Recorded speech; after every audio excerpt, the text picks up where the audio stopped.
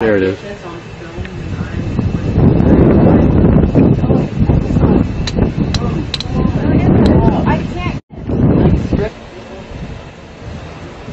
There goes a jet right by it. Well, a little higher. There's the jet, and there's the saucer. Holy crap. I got a better view of it now.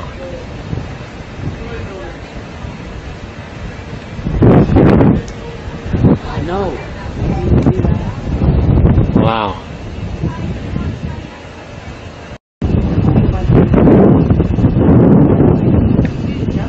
It must be about uh, 3,000 feet up now, I'd say. Wow, look at that.